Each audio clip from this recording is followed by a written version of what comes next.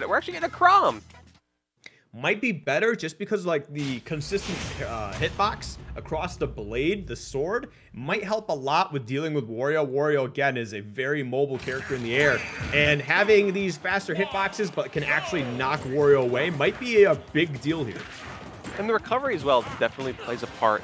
You know that you know the hand slap from Wario, that forward tilt can mm-hmm. catch Roy at ledge. So to avoid that entirely, playing Chrom, a character whose recovery is completely different, can really kind of enable NM to not lose stocks as fast when they're in disadvantage. So right. I like the thought process going into this, and so far so good. Mm -hmm. Right now, yeah, definitely looking pretty good here. This uh, this Chrom is definitely helping out. Okay, just gonna be able to get to ledge, no real issue, and the bite coming in just for a little bit of extra damage. But right now, very even matchup between the two of them right now. Back and forth, back and forth. So the the tides turn for these two, and I'm liking the the safer Chrom pressure there. You know, just the mm-hmm. down tilts and the quick jab pokes. But the second you touch my shield, up B's coming out. We like the, the Aether. second you touch my shield. The second you touch my shield, I'm Aethering you so hard that no one's even oh. gonna be oh. able to see. It's we like in those anime fights when like the the cloud, like the big cloud of uh, dust goes in so no one can see the fight. That's what's happening right now. It's so intense that we, we cannot be. Uh, uh, it'll hurt our eyes if we see we definitely got saved from watching an absolute slaughter there, probably. Who knows? what a oh, match it is. Very unfortunate. Um, you know what? Uh, it is what it is. it, it is, is, what it is. What There's not much we can do about it. But you know, while we're waiting here, uh, Rain, where can the people back at home find you? You can find me on Twitter at Let It Rain SSB. Posting stuff once in a while, whether it's you know a clip or just more stuff about commentary.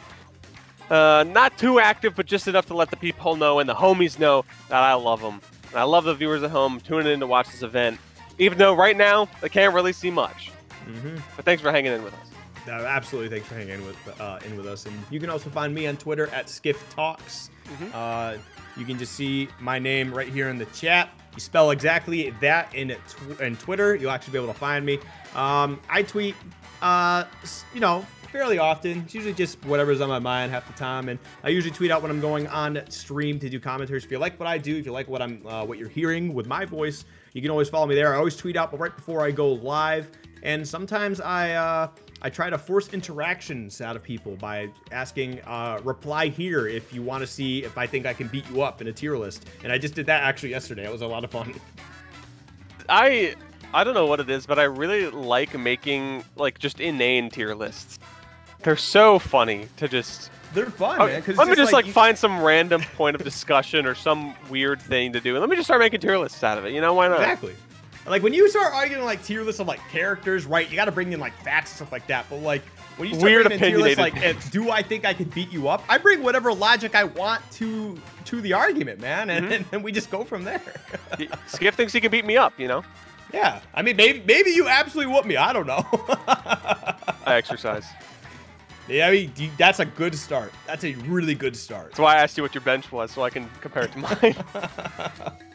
uh, bench doesn't mean anything to me if I like because I told you if I grab you, we go to the ground. I'm, I'm just I'm just gonna start twisting things and and hopefully you just say please stop. uh, pull out the ancient technique. Exactly, exactly. You know what it's all about. But anyway, as we move forward here, uh, gonna be waiting to see. I don't know if either of these two stream, to be honest. You know, I can yeah, probably try sure. to check. On, you, know, uh, you know what I just realized? Chillin' Dude's eyes aren't on the screen. Where's he looking? What direction he's, probably, looking at? He's probably looking at the melee containers or something like that. Yeah, well, hey, but MM took game one over nine Super Pie with the Chrom. How it happened, we'll never know. The patience and the pressure were pretty consistent from that Chrom, so it could totally be a leading factor. Mm. So it's tough to see. But hey, it looks like, wait, I think we're just getting the instant run back too. Yeah, we are. And you know what? Neither of the Twitches connected to these guys' um, Smash GG accounts. I mean, I don't know if they haven't been updated, but so far, uh, from what I'm seeing, neither of them are streaming either. So uh, it is what it is. Oh, maybe we're not. We don't want the run back quite yet. Maybe yeah. Maybe we need time to uh, consider our stages a bit. Then Super Pie wants to take their time. Maybe a little bit of a character switch. You never quite know. Mm-hmm.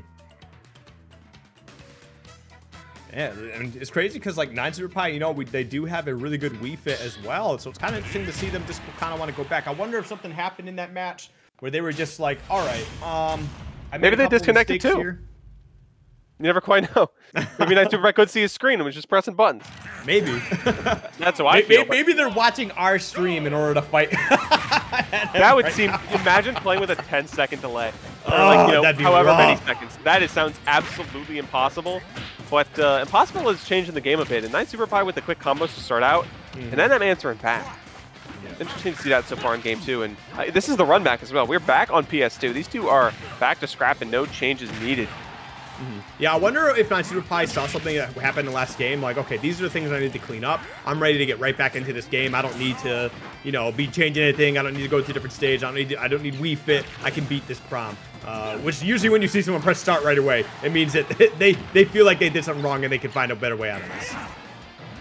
I like that Yuppie barely missing the motorcycle. And can you edge guard this Chrom? Not quite finding the hit on top and getting swatted out of the sky for your trouble. That's unfortunate. Nine Super Pie down the stock now. A lot of percentage on NM though, so you can totally close this out if you're careful. I think what they were trying to do is they're trying to catch, uh, call out a higher recovery from NM, in which the Nair probably could have uh, collided with them as, you know, Chrom jumps up and probably send them right back out. I think that's what he was trying to do. Unfortunately, that was super ill-advised. NM going to be able to clean up that first stock, but NM's sitting up at 147. Oh, yep, he's going to be looking for those back airs, man. Super Pie loves to throw those out. I like that tech oh. on that platform. And ouch, that is brutal, my man. The forward smash, and NM looking clean right now. But hey, that's Nine Super probably biting back with the back air. I mean, this isn't too bad. Honestly, because of its Wario, it is relatively even. I mean, we've seen the kill power, the combo damage, uh, just the damage output from Wario in general, and like he could put down a lot of damage very quickly. And you know, you catch Crom off stage one time, it could be the stock right there, like just just cleaning it up. And then all of a sudden, you know, Chrom comes back, you find another combo real quick, you're able to use that waft to just absolutely eliminate the last stock. So Super Pie's still in this. It's just a matter of just not getting caught up in NM's shenanigans, man, because NM's been putting these hitboxes out in the right spots. Exactly. The careful spacing that Chrom brings to the table. And Waft is on board, but I don't think we've seen Nine Super Pie get a Waft yet today. So this is going to be so important if they manage to pull it off and keep themselves in the game here. I like that that's going to be more than enough to take the stock. The jump gone on NM. And look at that, Waft on deck, an 80% difference between these two. Can he? Can the Chrom close it out? Or is uh, the Waft going to come up on deck and give Nine Super Pie a little bit of plot armor? Maybe. Oh, that Nair could have been a big start, but getting that shield out, 14% obviously is not going to be enough. And getting a parry on that Nair as well. This is actually becoming a tough spot to deal with. 126, and the kill power that Crom has, by the way, is also very crazy. A, a really strong back air of their own. Up air sending them right back up. This is a dangerous percentage. Back air from mid stage should honestly be more than enough. F tilt not quite doing it, 168% now. This is uh, very bleak for Nine Super Pie. Full of rage, so Waft, maybe some magic can happen, but you have to get past the. Oh no! oh my god! And oh, dude, he just sat there and shield and waited, and then NM eventually just like just got way too greedy. Like, dude, he just sat there holding shield. Yep, threw out that forward smash, and then Super Pie just blew him up literally. oh my god. That was the Waft 9 Super Pie needed to keep themselves alive in this set.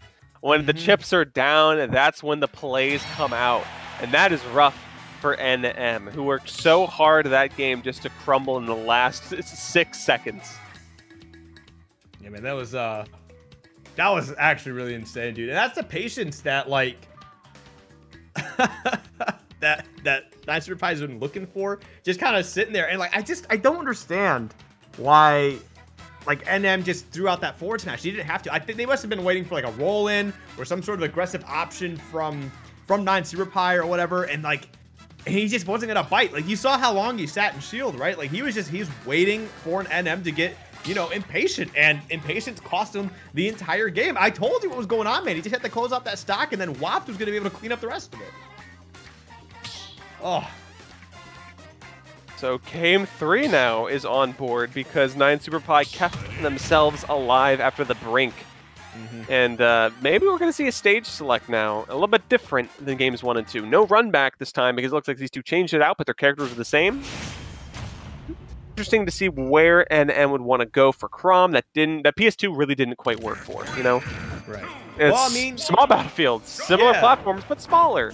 Listen, I know they call it small battlefield, but it's literally just small PS2. I'm sick of pretending just because they name it one one thing doesn't mean they're correct, right? If it was small battlefield, we'd see just at the same platform layout as Battlefield, but smaller. That's not what we got.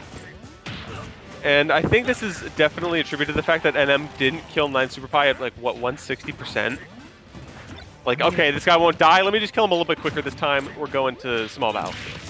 If I remember correctly, um, I don't think, I think they have roughly the same blast zones. Like, it, it might be, like, I think PS2s might be a little higher up top. That's about it. And you, I mean, you saw them struggling with the up airs. So could maybe be a little bit of that, a little bit less space for Wario to kind of run in and mow NM down and more just careful spacing. But oh, that up smash is brutal. That's the be stock one for Nine Super Pie. Mm -hmm. So I was just double checking. So the the blast zones on the side are a little bit shorter, but up top is actually the same as PS2.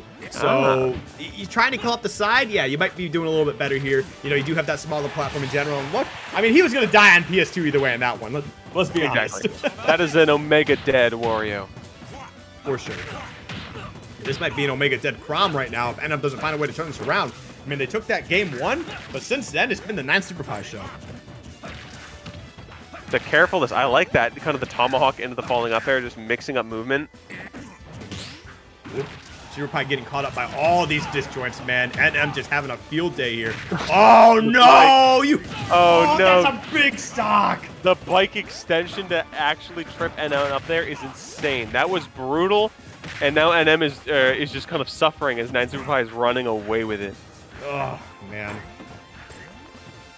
And there's there's the full waft, man. It's coming out to play here. 90%. NM's gonna find a way to put the stock away. I think at Super Pie, yeah, that's oh, they almost had the big read right there. Super Pie's definitely got this. He's just looking for extra credit now. He know he's got 90%. He's gonna put on as much damage as he can. He's gonna use that waft as a last resort should he need it. But for now, it's just a matter of putting NM away. And the movement is immaculate from 9 Super Pie. You can see how they're kind of performing, how they're bobbing and weaving through these platforms. What? And oh my, that is actually insane. Oh what? this game is insane. I don't. Sometimes I just don't get it. Like, he, he, he armored through the waft, and then that dude, that up B, what? That looked like a bar, like a Luigi tornado situation. What was that? I'm, I'm beginning to think somewhere in the Super Smash Bros. Ultimate timeline that mistakes were made. I don't I'm know, not sure man. where, but somewhere. That was that was so weird. That was such a weird ending. That is bizarre, uh, but fantastical in its own way. Mm -hmm. So, excellent work to Nine Super Pie. Uh, you, uh, Chrom cheated because of the super armor from the up B through Waft uh, but then you cheated right back with that weird corkscrew up B to just kind of completely throw NM off to the blast zone. So all's well that ends well, I guess. All according to plan. Listen, Nazi Pi got a got a pretty fun Wario to watch. That that, that was very fun. Sure. But man, that was that was weird. Whew, that was some crazy stuff. Very. oh man. Oh my goodness. That was that that final stock threw me off so bad, dude. Like I, it was such he, a weird turn of events like, for the last ten seconds. It just he oh. up smashed right, and then like because like his power stance, so his legs were spread out, and then Wario's like hand like grabbed his ankle and said, "Get out there!" I was like threw him. like, that's uh, that's weird. That aggression is uh, from Wario is quite bizarre in his up B. He, have you ever mm. like corkscrewed through the air and go up so hard that you just like slap someone out? yeah, you know, from the other side. Like I, he like he like tickled Chrom's ankle over here, and then Chrom just went like over his head. More I I don't. Hitboxes uh, could be weird sometimes. They are weird. They game. are weird. That is. That's just sure. that's just part for the course. So uh, respect to both players. Nine Super Pie sitting comfy in winner side. NM minimum ninth right now has to get one more match to qualify. Mm -hmm. uh, but next on the list is actually Pokelam versus Fluffy. And this one should be interesting. Pokelam playing the Steve today. Mm -hmm. What a character that is. Um, I mean, Pokelam is a usually a villager main and a disrespectful villager. that that's for sure. But well, um, Steve's kind of a disrespectful character, so you know what? It all works out. the way the way that Pokeland plays Villager, it, it, you'd have to see it, man. It, it's bad when when he knows that he is much better than his opponent. he's rude. He's very rude. He but lets this, it be known. He let no. He lets it be known. Like one time, he he shield broke a Bowser, walked the Bowser towards the edge, right, and just jabbed one him with Villager and just walked away. like, and then, and then not only that, I think he proceeded to three sack him anyway. Like the dude's insane. Rude. Yeah, but the Steve, I, I have not seen the Steve yet. I think he's got a pretty good Steve, if I remember correctly. I think I was chilling out in the review record with him one time. Oh, there was a few people, and he was uh, he was streaming his his Steve quick play, and it, it was something. It was an experience, that is for sure. It's gonna be fun to uh, to kind of see that in action, of course. Mm -hmm. So, uh, I, you know, I said Steve was a disrespectful character, and that's of course when you pick him on the select screen.